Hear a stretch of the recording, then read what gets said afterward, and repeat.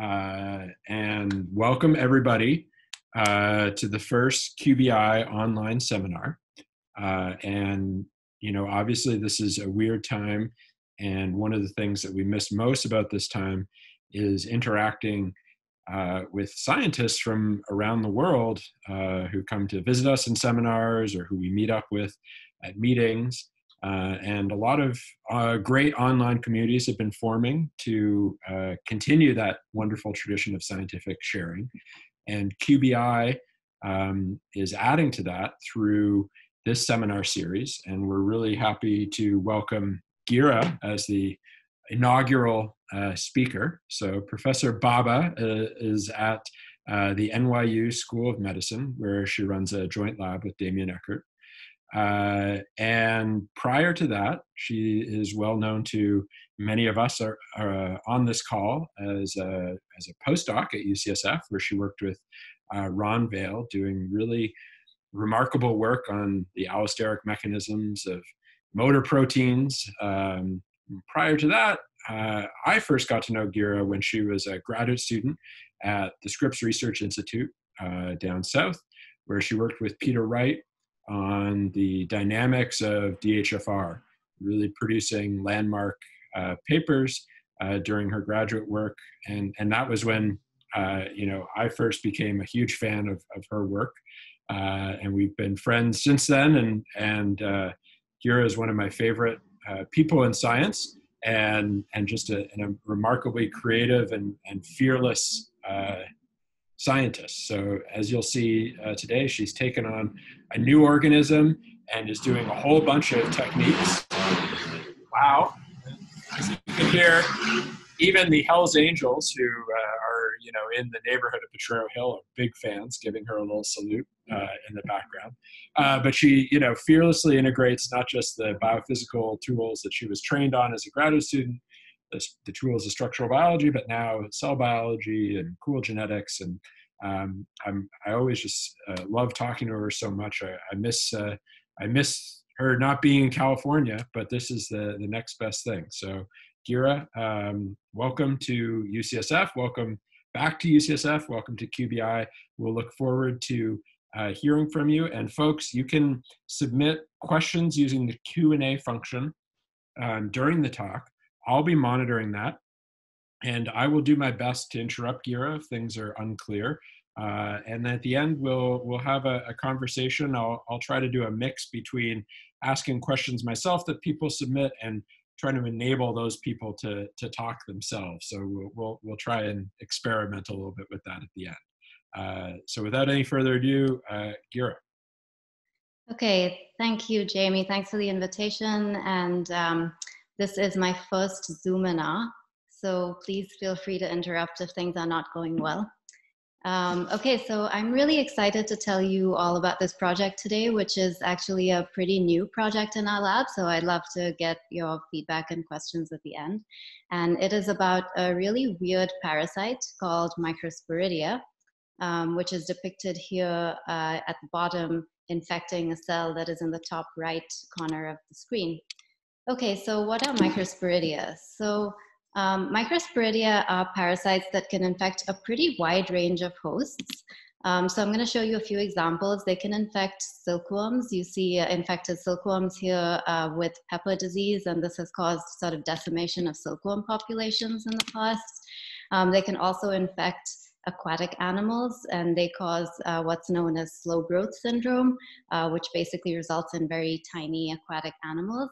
This has also resulted in a lot of economic losses in countries that depend on this um, as one of their main economies. And of course, they can also infect a multitude of organs in, um, in humans, in uh, immunocompromised patients, this can be fatal. Most often they infect the small intestine, but also they can infect muscle, lungs. Um, they can be tissue specific or they can be systemic. So um, they are these little bugs that have a really wide range of hosts. They also have an incredibly reduced genome. So I'm just showing you here, kind of drawn to scale, the area of the circles represent the scale of the genomes, um, that they, uh, how they compare with some other common things. Um, so they are actually a little bit smaller than E. coli. And there's kind of two uh, interesting things about this. One is that uh, uh, the genome is very reduced. Many of the proteins are actually not uh, homologous to anything we really understand or know well. Um, and the other part is that because their genomes are so reduced, uh, they also are obligate intracellular parasites. So they depend on their host for survival. Um, so I'm just going to dive in and show you what they look like when they infect a host cell.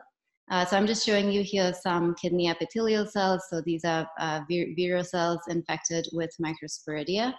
Uh, each of the little yellow parasites you see here is a microsporidia parasite. So they form spores. Um, they're unicellular and closely, most closely related to fungi. So here you're seeing a cell that's pretty heavily infected. You can see that uh, the microsporidia kind of cluster around the nucleus and the actin is also stained just to, to give you a sense of where, where they are. Um, so once they're fully infected, they'll be released from the host cell.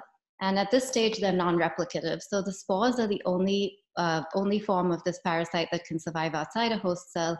And in, order to replicate, they will have to infect a new host cell. And so my whole talk today is going to be about how do they actually infect their host, a new host cell. Okay, so exactly 100 years ago, actually, um, it was noted that microsporidia have this really weird tube that comes out of them. So this is a hand drawing um, of what something that was observed in a microscope, and you can see uh, this unicellular spore, and then you can see this filamentous stuff that comes out of it. Um, and if we look at that, you know, fast forward a few years, uh, you can have a little bit of a better picture of what this looks like. You can see the spore, um, you can see this polar tube that comes out of it, and now you can see that this tube uh, sits against a host cell. And so generally the hypothesis is that this really long tube, the polar tube, is important for infecting uh, the host cell. And so I'm just, I just want to show you what this looks like under a light microscope because you're going to see a lot of it. And so here we have the spore body down um, on the right. You have the polar tube. And if you look carefully at the other end, there's some sort of infectious material at the other end of this tube. Um, and that whole long tube has to be packaged inside the spore. So uh, before we really get into anything, I want to give you a sense of how, how does this really work? How does this tube come out of a spore? Um, and just so you have a, a, kind of more realistic idea of what I'm talking about. And so, uh, because I don't know how this, how movies are going to show on each of your screens, in the chat window you'll find a list of movies, and on the slide I'll name the corresponding movie. And so, if it doesn't look good when I play it, then just uh, click on that link, and hopefully it'll work. Um, okay, so this is how it really works. So what you should be seeing, um, I hope, is uh, in about one. It look it looks great for me. Okay. Playing here. Yeah. So. Um, okay, so at the bottom right is the spore. Um, and from it, you see this tube shoots out really quick. At the other end of the tube, you have some infectious material that comes out that we'll talk about later. And so in theory, the host cell would be on the top left of the screen. And this is in real time, so the whole process happens in about 1.6 seconds. So if we then ask, well, what does this tube look like inside the spore? So this is uh, these this is a TEM section from uh, one Microsporidia species, and there's data on pretty much all Microsporidia species like this from many different labs. Um, and what you'll see here are these coils, and these are the polar tube coils when they're inside the spore. That is the inactive spore before it has fired its tube.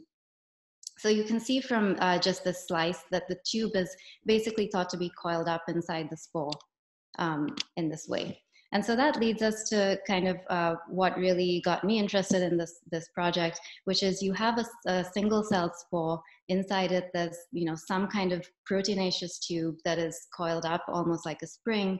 Um, on some trigger, that tube will get released. We don't really understand what the trigger is yet, um, but when it's released, the tube will become linear it's then hollow, and the hypothesis is that cargo will be transported through that tube into the host cell to initiate infection of the host cell. So, really, um, the question is how is this uh, sort of harpoon-like organelle deployed? Um, which, in order to answer that question, I think we first need to know how is it actually packed in the spore, and you know what are the kinetics of this firing? How does it really work? And of course, I was incredibly interested in understanding what kind of proteins actually generate this filament. They have to be something that support both the coiling as well as this linear tube. And they have to be able to make this uh, huge conformational change uh, that you see kind of macroscopically within apparently a couple of seconds, or I'll show you later, even in milliseconds. Um, and so these were the kind of questions that got me uh, really excited about looking into this, this project. Um, so the main drawback of this project is that these organisms are not genetically modifiable. And so many of the initial experiments one would do, like tagging different proteins and just asking what where they are or what they're doing during infection, is, is simply not possible. And so that makes it really challenging to study. And for that reason, um, the approach that we've taken is uh, entirely based on imaging. And so what we're doing is um, from the point of view of looking at the organism itself and its infection in host cells and now also some organoid systems, we use uh, optical microscopy. Um, coming at it from the other side, um, we're doing some structural biology and biochemistry on different, uh, different proteins that actually make up this tube. Um, and then a direction that's sort of new for me and uh, super exciting is more of the sort of structural cell biology, where we're really hoping um, that by using some of these newer techniques as well as some older ones, we can really kind of get at the native structure at a bit higher resolution. And then my dream is that we can kind of come at it from both ends and meet in the middle and I could give you a much better description of what's going on. Um, so as I said, it's a new project in the lab, so that's the idea. We're not there yet, uh, but today I'll tell you a little bit about um, the optical microscopy that we're doing, looking at these firing kinetics, how the polar tube is packed, and hopefully some insights into the mechanism of this polar tube firing event. So before I start, I should say this uh, project has really been led by a great postdoc in the lab, Michael, and uh, we were super lucky that he even wanted to work on this project because the project didn't exist before he joined the lab. So everything that I show you has really been established by him. Um, we've also worked really closely with our microscopy core, both for the um, EM and the light microscopy I'll show you. And we have a great high school student, Alina, who's done all of the segmentation of the EM data that I'll show you as well. Um, and in case the movie links in the chat window don't work, they're also all on bioRxiv. Okay, so let's get into how the polar tube is packed in the spore in the first place. So to answer this question, we felt that we really needed a 3D reconstruction of this because there wasn't there wasn't otherwise a good way to know how it's packed. And so to understand this, we used serial block phase scanning electron microscopy. And so this essentially allows us to obtain uh, 3D slices through many different spores in a high throughput way. Um, so we can have a block. So what you see here is um, a block of resin that has a lot of different spores packed, packed into it.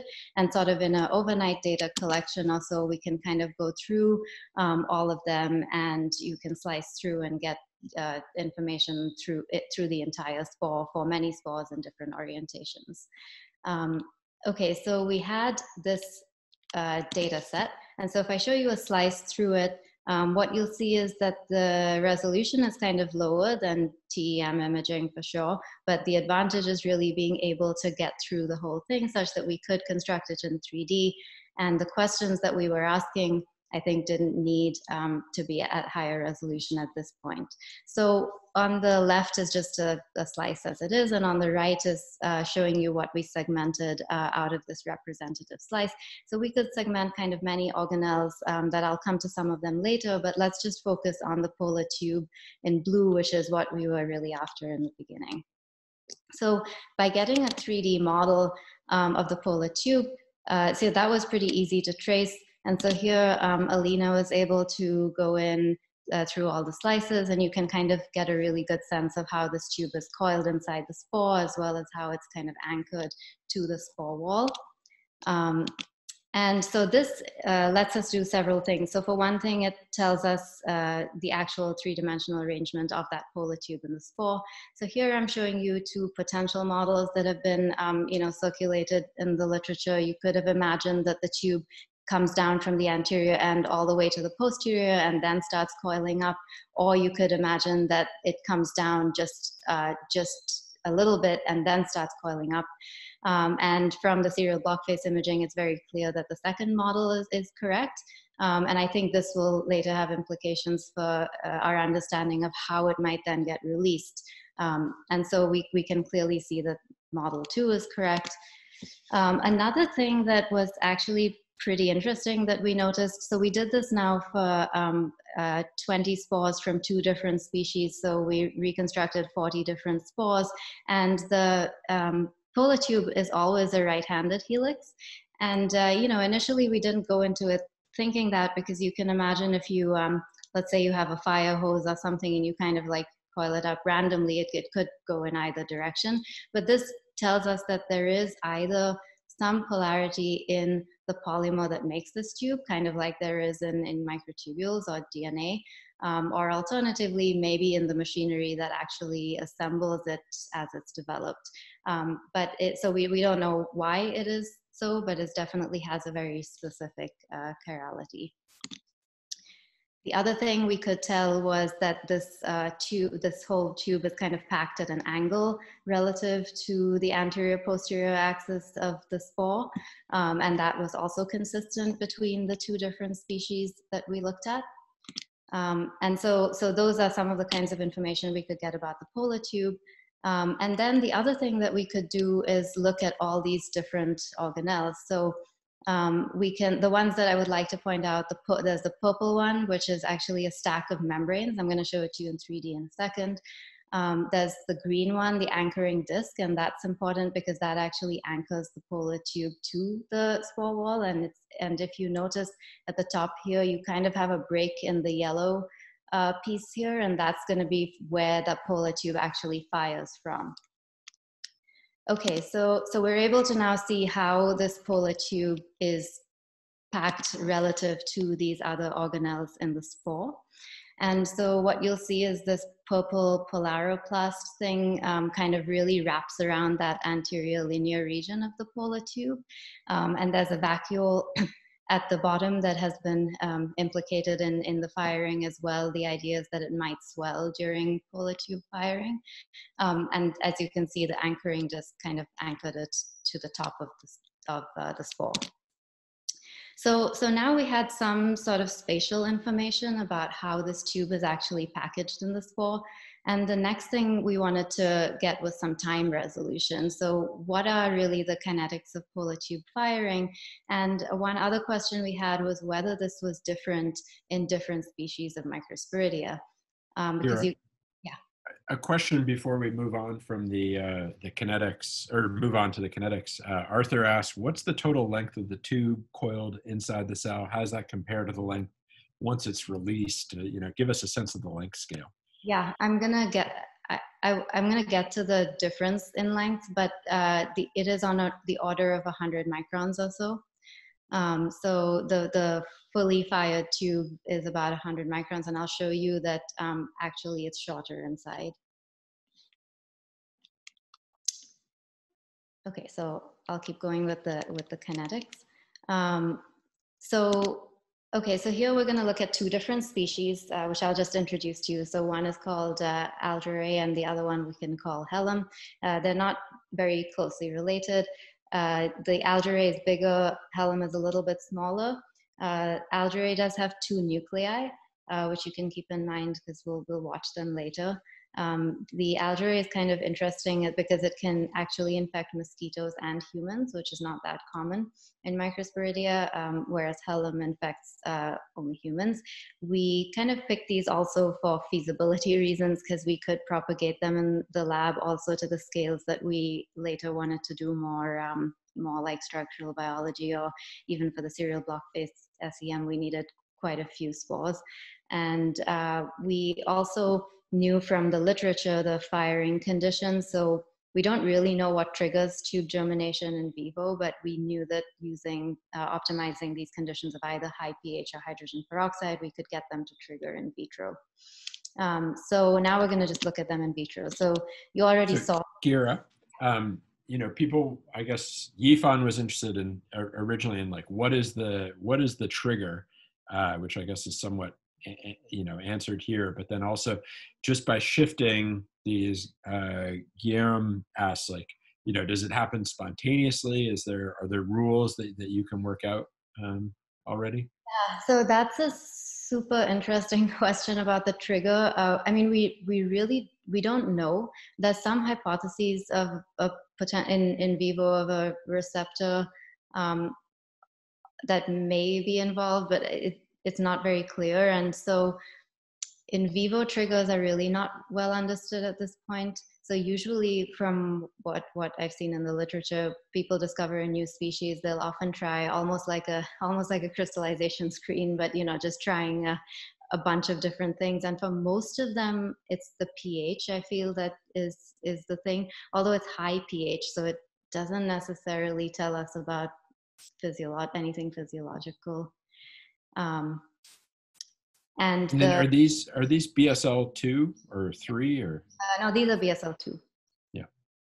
Um, so yeah, and so then about the rate, it can vary a bit. So it, even can vary prep to prep. So you can have, say, uh, sometimes 75% will germinate, sometimes only 45% will germinate. But I have to say, I'm not uh, completely confident that the uh, purified spores are all at the completely mature stage either, because at least looking from the serial block based SEM, there's certainly some that seem to not, not have a fully formed polar tube. So it could be that a purification method isn't getting completely mature spores, and that's also affecting the, the rate of germination, so to speak. I guess Yifan wants to elaborate, you know, whether you know anything about the directionality of fires, whether there's it know how it senses there's a target there. We assume the firing is irreversible, so economically it should know that there's a target. How you think about that, and then so it and is. then in, in honor of his election to the National Academy of Sciences during this pandemic period, I'll allow him one more question after this. oh. Um, okay. Well, he can ask any number of questions, but um, yeah, we. So I think they're all great questions. We um, so the so it was the directionality. So we don't really know directionality. Yes it's not reversible. So it's not like the chytrid fungus that can reel back its uh, psyllium or something. So it's it's not reversible. Um, and i so i can get back to this maybe in the discussion. Um, i'm not so convinced that it would actually pierce the host cell. Uh, it may be more like a tissue level trigger that is actually triggering this. And it's even possible that the stuff that comes out of it is then um, kind of phagocytosed by a cell as well. But maybe we could revisit that discussion at the end after you see some of the cargo transport as well. Um, okay, so, uh, so what we first did uh, was optimize some high-speed optical microscopy to look at the firing kinetics of the algae species that I told you about. Um, and so you already saw this movie, but I'll just uh, remind you the spore is at the bottom, tube is shoot, shooting out, it's in real time. The host cell in theory would be at the top left. Um, and if we look at it in a more intelligible way here as a chymograph, um, what you can see is that there's three main phases here. In the first phase, uh, the polar tube actually extrudes and reaches its full length. In the second stage, you don't see any change in length of the um, tube itself. We think that's when the uh, cargo will be transported through the tube. And then at the end, you can see some cargo emerge um, at the end of the tube. So we did the same thing then for uh, Helm. And what you're going to see here is that it's actually much faster. The whole process is done in about 500 milliseconds.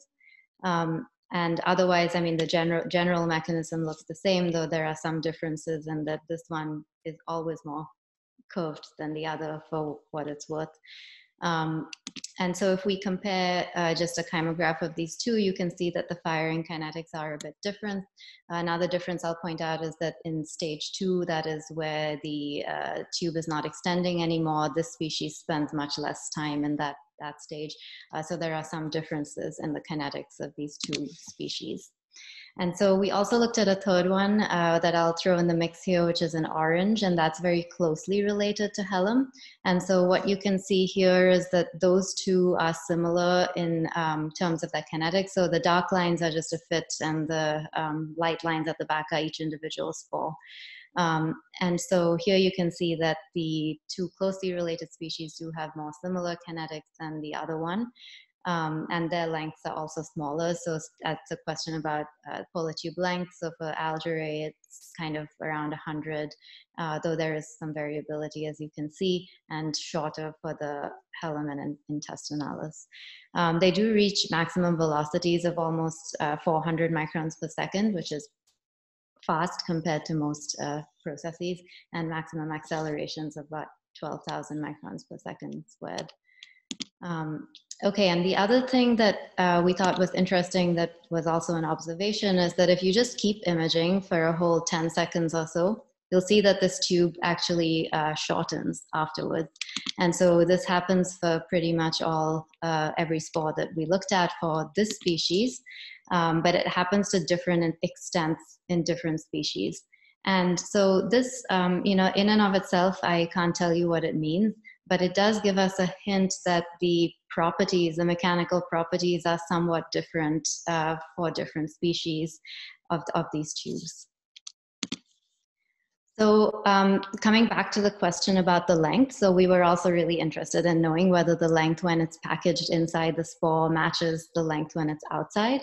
Um, the length in the inside comes from the serial block face imaging and the length from the outside is from light microscopy. So we did first um, validate the ability to actually compare the length from these two techniques and we did that by measuring the spore size itself. Um, and th those seem uh, like very comparable. So we think it's okay to use the two different techniques to measure length. And um, when we do that, you can see that the length outside is about twice that of the length inside. And so that um, tells us, uh, I mean, it could mean many things, but I think my um, favorite hypothesis is that whatever is making up the, the protein, the repeating unit of the proteins that are making up this filament undergo could each undergo a conformational change that leads to an difference in the length outside. Um, of course, it could be something completely different, like membrane rearrangement or some, something else. So don't know what it is yet, but something is different. It's not just a spring that is going from the inside to the outside. Okay, so um, the um, the, the next part that I want to focus on is well, how is the infectious material or cargo or whatever actually has to make it to the host cell? How is that transported through the polar tube? Um, and now we're kind of set up with an assay to look at this polar tube firing. So all we need to do is have some kind of marker for the cargo. So this was a question that I was actually, this was probably one of the first questions that I was really interested in answering. And so I was pretty excited when we actually got to the point that we could answer it. And the reason is that uh, we know that at least the nucleus, we don't know exactly what goes through the tube, but we know that the nucleus for sure has to make it through the tube into the host cell. And the nucleus is much larger than the tube. So drawn a, a bit to scale here. So, but it's about seven times in diameter. And so either this tube is going to have to be flexible enough to accommodate the nucleus, um, or the nucleus is going to have to be able to squeeze through that tube. And so to uh, address this question, we first needed to be able to see the nucleus in the first place. And I told you we don't have the luxury of doing any genetics. Um, and so what we did was, uh, so the other challenge is that there's a pretty thick uh, chitin wall around the spore. Uh, which makes it difficult to get a lot of things in. And so we screened a bunch of dyes and uh, Nuke Blue, which is a Hoechst derivative, seemed to work for us. So we were able to stain um, the nuclei. And so this species has two, two nuclei. We were able to stain these uh, using Nuke Blue and it was able to get in pre-germination as well. So now what I'm going to show you is we will watch the nucleus um, as it actually leaves the spore to travel down, also oh, the nuclei as they uh, leave the spore to travel down the tube. So here, um, the inset shows you a movie of what's going on in the spore. And uh, because we have bright field imaging as well, you can see the tube coming out too. Um, so you can see that the tube is released. The nuclei kind of dance around each other. You see them separating for a second and they leave together. Um, so just so we can all be seeing the same thing, we could look at the kymograph instead. And uh, you can see uh, one of the arrows here points to uh, where we think the nuclei start reorganizing, which is very shortly after the tube starts to release. Um, and then you can see that they exit the tube together. Um, okay, so then uh, the next question was how do they actually travel down the tube? And so now we'll I'll show you a movie of them uh, traveling down the tube. Uh, so that looks like this. And so what you see here is that they they get deformed quite a lot. So just uh, the spores at the bottom, you see that they kind of go through. You see the spore jump a little bit at the end as well. Um, and just to orient you, I'll you know make the marking of where where the tube would be. And so maybe if we look at this as a kymograph, um, what I would like to point out is that the there is like a pretty gross deformation of these nuclei as they they go through, and then they kind of pause and jump out. And the other thing I'd like to point out is that they do uh, regain their shape at the end, so that is that is reversible. Um, and so they kind of uh, really get deformed to squeeze through the tube and then reform, I guess, as they exit. Um, okay, so uh, so I told you now a lot of stuff that is basically observational and very descriptive. We looked at velocities and phases of extrusion and, and timing of cargo transport and all of these different things. And I guess now comes the hard part of trying to make some meaning of this.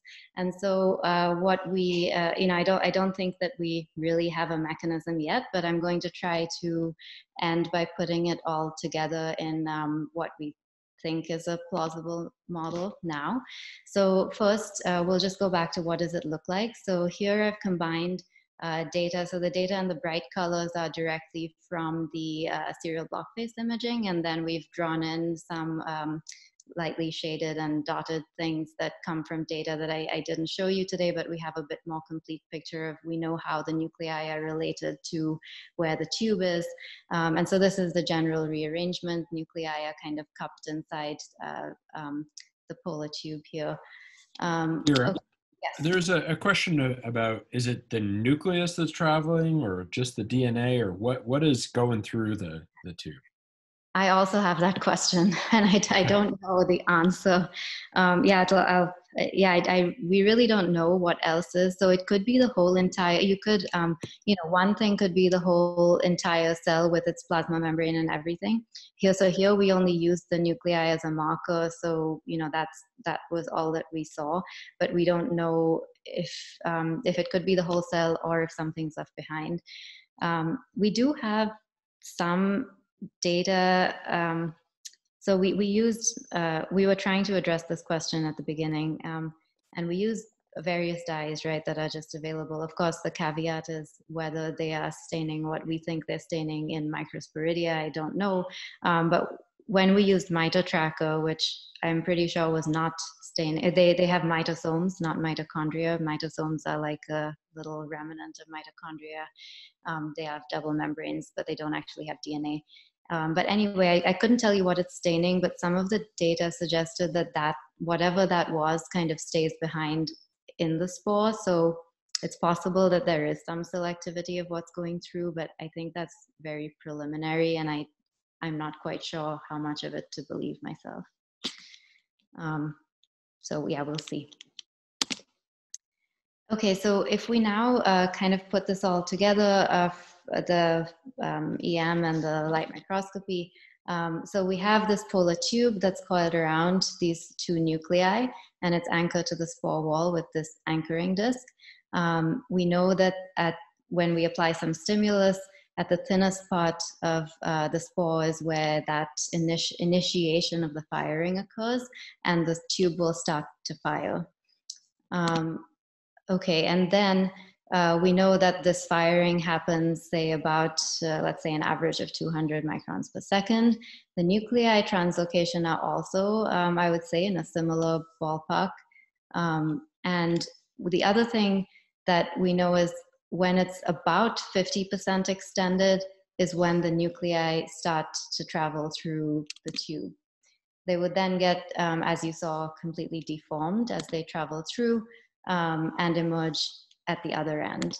And so if we put uh, some, some time scales on this, um, the time before the cargo exits is also about the time where the tube is, is 50% extended. Um, and uh, maybe we can come back and if we have an extended discussion at the end about about what this may mean but i think it can, it could potentially tell us about the mechanism of the polar tube extending uh, the whole uh, event is over in about 1.6 seconds for this species and faster for others so okay yeah so sorry again uh, so Yifan wants to know about the technical feasibility of doing a series section image to the spores that have already fired.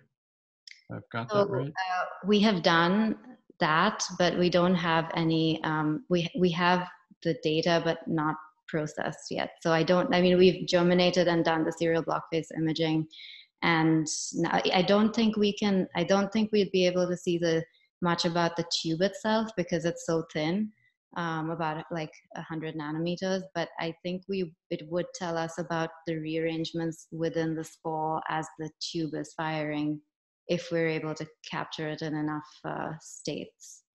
So I think. Then, oh, yep.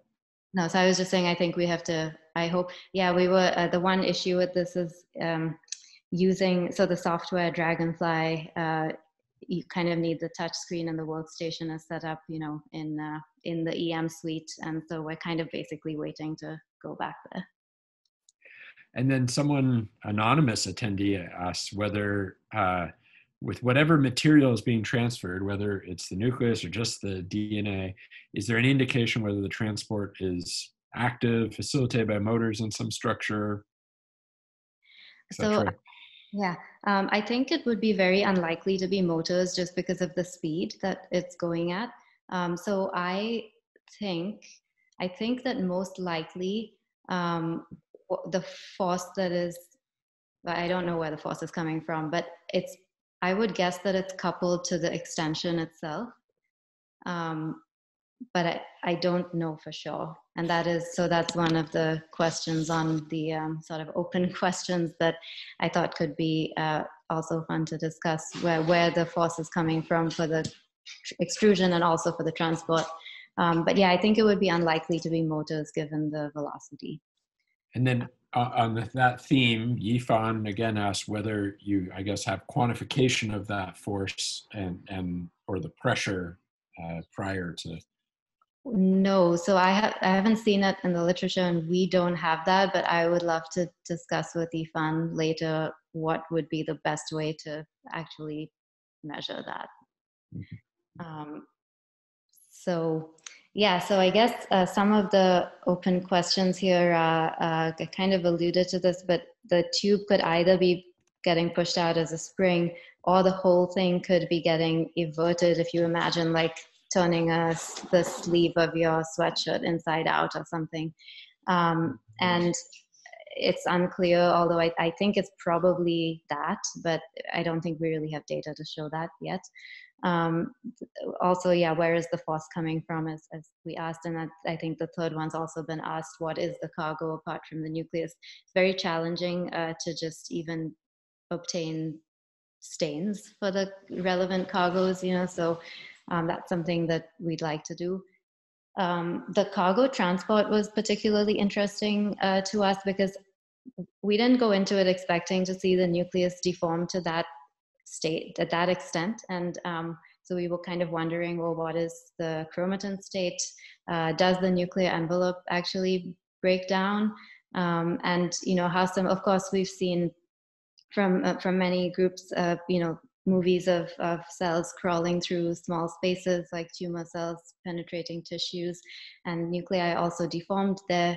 I think the biggest difference is the time scale and the extent of deformation, because usually that's maybe say minutes to hours, and this is all in within on the millisecond time scale. Um, so I think uh, those kind of questions would be very interesting to, to try to address. Um, other kind of directions that are uh, other sort of directions in the lab looking at this are the actual structure of the tube itself, the polar tube proteins, just doing recombinant proteins, and um, and of course we're super interested in the, con- the conformational change at high resolution of all of this uh, when it goes from the inside to the outside. And kind of on the other side of things, um, we are interested in looking at this in the context of host cells Um, so one thing I'm really excited about is um, Noel, is, who's a postdoc in the lab, is now setting up uh, an, an, intestinal organoid system model system to, to really look at this in more detail, which I think will give us much better uh, 3D architecture um, to really address these questions of invasion as well as cell-to-cell spread and uh, the host response. And so um, with that, I will end. And so I, um, I really want to thank um, everyone in the lab. But so Damian and I uh, ran our lab together, and this has been just super fun and allows us to have you know a broad range of projects that um, we really love doing. And uh, Michael, who is is here taking the selfie, he's always the selfie taker. But uh, yeah, he has really uh, done everything for this project. Uh, like I said, it didn't exist in the lab before he got there. Um, and we've also worked really closely with the microscopy core. Um, okay, so I think I am happy to take more questions and discuss anything. Awesome. Well, great. Um, I, I know that the attendees can't react, but I will uh, clap or give you know Zoom crab hands. Uh, that was that was awesome. Um, I'm going to uh, try an experiment uh, and allow my colleague Klim uh, to talk and, and ask a question. Klim, you can unmute yourself. You can ask your question. Oh. Yep, we can hear you, Klim. Perfect. Yeah, I was wondering in the species where there's two, hi Gira, this is awesome talk by the way. But um, in the species with two nuclei, do both of the nuclei get transported through the tube? And if so, do they merge first and then they transport as one unit or do they uh, or do they sort of go as two boli of nuclei in the tube? I think they go um, together so let me just try to get us back to this movie. Um, so i have to say that be, uh, this kind of imaging has been like just incredibly challenging and so with all the other stuff we have you know like 20 or 30 events that we can then quantify and with this um, this was like maybe one of two movies that we were able to really do this dual imaging for. So mm-hmm. with that caveat in mind, um, here you can watch the two of them together. And so it seems like you can see them clearly separate, but then they do leave at the same time. So I think that they would be basically traveling together. Cool. Oh, it's all good.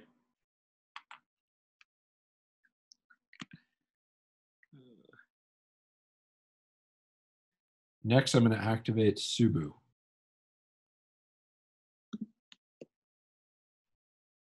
Subu, to unmute.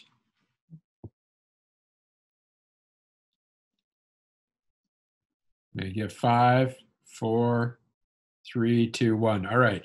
Subu wanted to ask, why is it important for the microsporidia to shoot out the polar tube at such high speeds? Is it to pierce the host membrane or something else? It could be. So um, this uh, movie that I'm showing on the bottom left here, if it shows up for you, um, you can see a microsporidia spore and a, there's a host cell. So here's the host cell. I don't know if you can see my cursor, um, but the uh, tube does seem to kind of latch onto the host cell in some way. Piercing. Um, so yes, that's the hypothesis, the general understanding in the field is that it would pierce. Uh, there's not any clear data for the actual piercing event, I would say. So I have not ruled out that that it would just be, um, you know, releasing its sporoplasm or releasing the cargo and that getting into the host cell. I don't feel like there's any clear data to differentiate those two, but it certainly could be piercing. And, and maybe on a related note, Oren asks, why does it need to do this at a distance from the host cell? Why not just go right up next to the host cell? I know, right? That's bizarre. Um, so yeah, so I guess uh, it so it could be to penetrate some mucus layer or something. I'm completely speculating, by the way. I have no data on anything, but um, yeah, so it could be to kind of get through some sort of mucus layer since it's gonna, you know, so several of them may be going into intestinal epithelial cells. Uh, the other thing that we've been thinking about is whether it's not it may not be necessary to initiate infection. Maybe it's for cell to cell spread. Um, and so I didn't show any of this today, but we've been looking at a little bit at kind of cell entry and certainly the whole spore can get phagocytosed as well and other people have shown that for some species too. And so the, the question we don't know is i mean the answer that we don't know is whether that event is a productive infection. And i think to address that we'd have to follow single events both with polar tube firing as well as with um, phagocytosis of the whole spore to see if they actually replicate. And that's something that we are doing now. Um, but yeah, in a real tissue, maybe it's more for spreading than uh, infecting. Matt? Yeah, hi, Gira. This was a, a, really fascinating talk. I'm struck by the conformation of the PT inside the cell and why you might think it sort of is at an angle there versus some other kind of conformation. Have you thought about that? So we've thought about it. I don't really have a satisfactory answer because I, I mean we haven't tried to do any sort of simulations or anything to see how it would affect the shooting. Um, I uh, I did get a criticism on my grant that uh, the most efficient way would be if it were packed not at an angle. Um, so I guess someone maybe that's faster shooting out. I don't know, but I no I don't have any clear answer on that. But if you have any specific thoughts, I would love to hear them. No, I guess I was just wondering that same thing about what would be the most efficient way to pack it inside there. And um, no, I hadn't hadn't thought it all the way through, but for some reason it stuck in my mind that it was interesting. Yeah, we also initially like all of the models and the textbooks and stuff show it just kind of, you know, planar, and I was kind, I was also expecting to see it that way, and could be to accommodate other organelles as well. Um, but one one of the things um, that we're interested in doing is kind of looking at the development of it, how it's actually built. So maybe doing initially doing the serial block face imaging with uh, spores that are not fully developed, and maybe maybe that would give some insight into how it actually is packed that way. Okay, next from uh, Galaxy Far, Far Away, Princess Leia Lucas. Do you want to unmute yourself and ask your question, comment?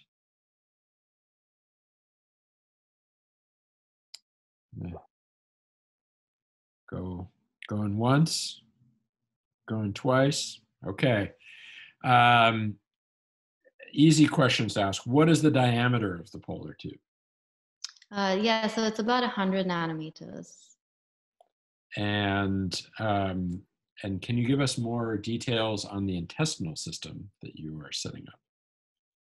Um, yeah, so we are current. This is very very new. So we are currently um, just using enteroids that uh, we have been able to establish. So if we disrupt them, we're able to establish microsporidia infection in them. But we need to try to flip them to make them apical out so that the relevant surface is actually exposed for the microsporidia infection. And we haven't got there yet, but we have seen that um, when we uh, you know, when we just grow them and disrupt them and then add in microsporidia, we can establish an infection in them. But we don't, yeah, we don't have anything more to share yet. Hi, uh, Ruchika. Uh, hi, Gira. This is Ruchika. Uh, um, hi, um, very nice work actually. I was just wondering, in one of the graph you had was uh, in which you know you showed the Michaelis-Menten kind of kinetics, like saturation kinetics, and also uh, sigmoidal curve on the base of time versus the yeah. Uh, so I was wondering that if uh, that depends upon uh, nature of the protein your polar tube has, and uh, how does actually that correlate? I mean, any cooperativity in that kind of uh, process? Yeah, so it's true that the um, so the polar tube proteins I didn't get into them, but so that that's kind of interesting. There are three main um, ones that have been identified that are thought to potentially be like the struct- structural basis of this tube. So they're just called polar tube protein one, two, and three, um, and they're not related to anything. So there's not much I can tell you about them. Um, but those, you know, so one possibility is that all three of them come together to form some sort of repeating unit that then makes the tube. Could also be that one of them is a scaffold and the other two do something else. Um, but it is true that they are more closely related in the blue and orange one than they are in the black one. Uh, although in the end, I mean, the I mean, I think overall there's going to be some common mechanism. Uh, but yeah, the, the proteins are, they can be pretty divergent anywhere. They can be, you know, up to 70% similar. They can also be down to sort of on the more like 15 to 20%. And then they get into the stage where you can't really, you don't really know if it's the same protein that you're looking at in different species. Thank you. Arthur? Yes. Do you hear me? Yes. Yes. Yeah. Uh, very nice talk. Uh, I was wondering, um, in order to investigate the role of the vacuole in the shooting process, have you tried to change the osmolarity and see if it triggers or if it changes the speed at which it shoots or any of the parameters of the shooting? Uh, yeah, that, that's a great question. So we uh, haven't done that. So some um, Emily Troemel and uh, Jimmy Becnel uh, uh, have worked on one of these species, algae, and although they didn't do like a quantitative assay, they, they were initially showing this polar tube firing and they did some really nice uh, live cell imaging to look at it. And you can see as the tube um, fires that vacuole kind of expanding. Um, I'm not sure if that's a consequence of the firing or if that's actually causing, in a way, uh, the firing. Um, we haven't played around, so so uh, we haven't played around yet with osmolarity, viscosity, or any anything, which I think would be really important to do in terms of um, kind of nailing the mechanism. So that's something that we hope to do and then do it in a more quantitative way like this where we can really do it for you know 30 40 spores and then get some numbers out. Uh, great. Uh, yifan yes, know, I still have that same question. The how does it find in the target? Because this, uh, if you look at the trace of this prototype, it looks yeah. like a missile, right? It shoots out and directly to its target. And then if you look at the last image, uh, the one of this movie in your acknowledgement slides, yeah. but it seems like in that firing, the first one of these things first missed off its target, then kind of swing in one of you, uh, yeah, some of them you can see that first firing to a different location. And how does it actually find in the target? And does this thing ever fire into a wrong direction, in the completely opposite direction? Uh, yes, so there's often kind of off target, like if, so I mean, so one hypothesis is that there is a target, uh, most like, like here you can see that probably is, but there's also a spore actually firing off to the left that I don't think yeah finding its target.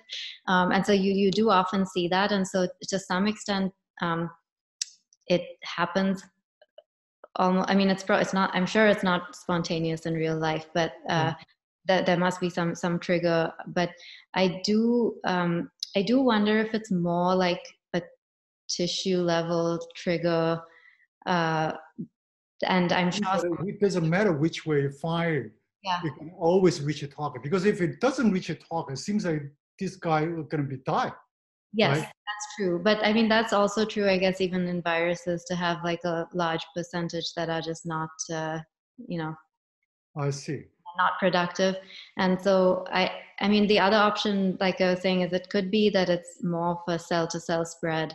And maybe if we study that in the context of its real tissue architecture, like it could be that that in, in, um, some C. elegans systems that have been studied, it seems like once they start infecting it, they cause the whole the whole um, intestine to become one syncytium, and so you know it, you could imagine that this kind of mechanism was is useful for that kind of spreading across many cells, perhaps because it's long. Yeah, that's right. It's very cool. Thanks. Um, all right, uh, John, John Wang.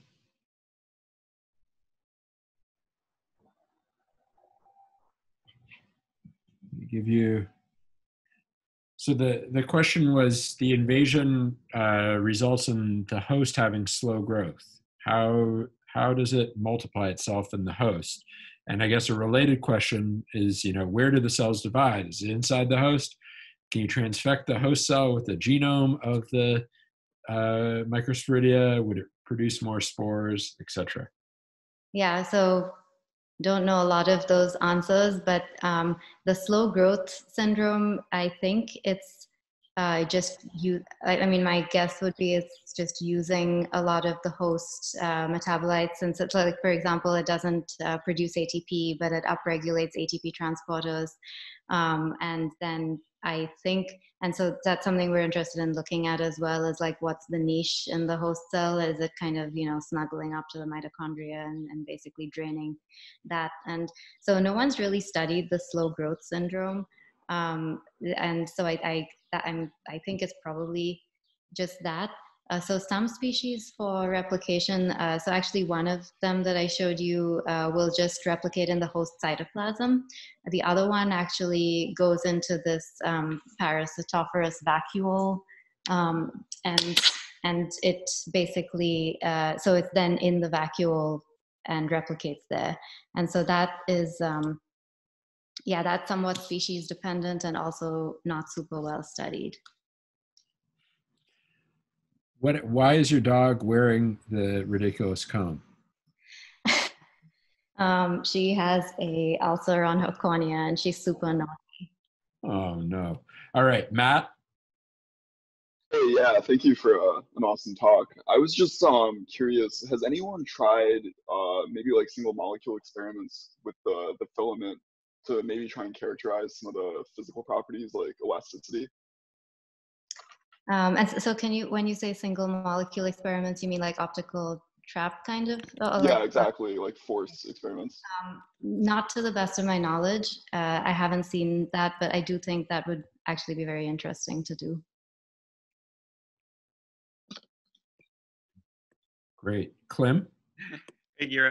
Um, quick question. Can you shear the tubes off and purify them? Like if you grow a bunch of these and yeah you know induce the tubes and then maybe put them on the grid and maybe then image them or something yeah so uh, so the thing you see on the right is one picture one cryo one tomogram uh, oh, yeah projection that you see from a similar experiment where we just kind of put the spores on the grid and you actually don't have to shear them even mm-hmm. um, but but the shearing is actually important for uh, we kind of also want to get at like what is the proteome of this tube? Because we the uh, people have kind of looked at these main polar tube proteins um, but that's because they're extremely resistant to so they're resistant to like uh, 8 molar urea and uh, large amounts of SDS. And so the way it's been done before is just to dissolve the whole spore and that, and then these are the proteins that kind of remain, and then you can identify them by mass spec. But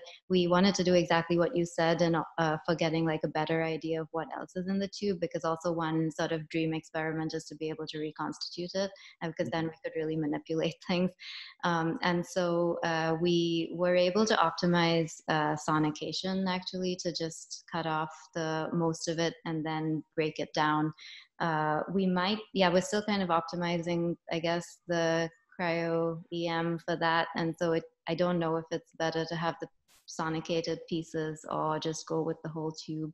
Uh, one advantage of the whole tube is we could potentially go down all 100 microns and see how similar it is along the whole mm-hmm. length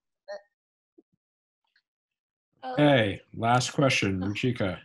Oh, hi, Gira. Uh, sorry for the uh, another question, but I was just wondering, like, you know, you also showed in one of the slide that uh, the polar tube was increasing by step by step, like, you know, few steps. So I was just wondering that if there is a chemotaxis involved in the process to reach the target.